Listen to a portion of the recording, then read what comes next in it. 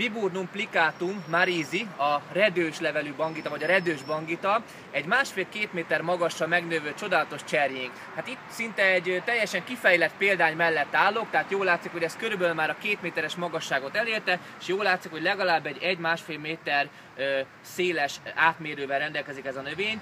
Boltozatosan, szinte ilyen emeletszerűen helyezkednek el az ágai, és áprilisban nyílnak a gyönyörű szép virágai. És látjuk, hogy ezek a virágok, ezek ugye virágzatba tömörülnek, és szépen fokozatosan, hát általában kívülről befelé nyílnak, és ez is egy különleges dolog, mert nagyon kevés cserjénknek vannak ilyen gyönyörű szép hófehér virágai. A virágai ugyan nem borítják be az egész cserét, de azért rendkívül feltűnőek, hiszen maguk ezek a virágzatok ezek nagyon szép vízszintesen állnak, és egyébként is a redős leveleivel, a redős és vastag leveleivel egy nagyon különleges hatást lehet vele elérni.